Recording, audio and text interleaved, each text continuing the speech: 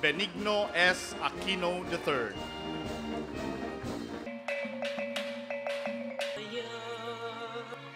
Bismillah ang dilim ang liwanag May we call on Secretary Lualhati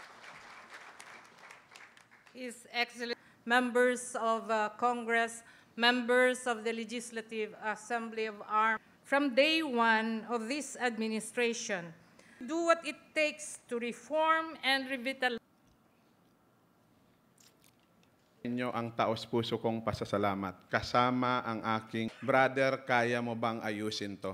At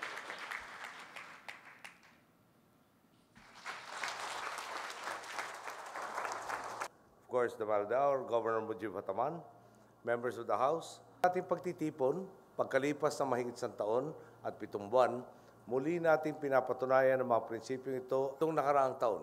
Naging synchronized na nga po ang halalan sa ARM at ng local at ng We Can Win. Thank you. Good day.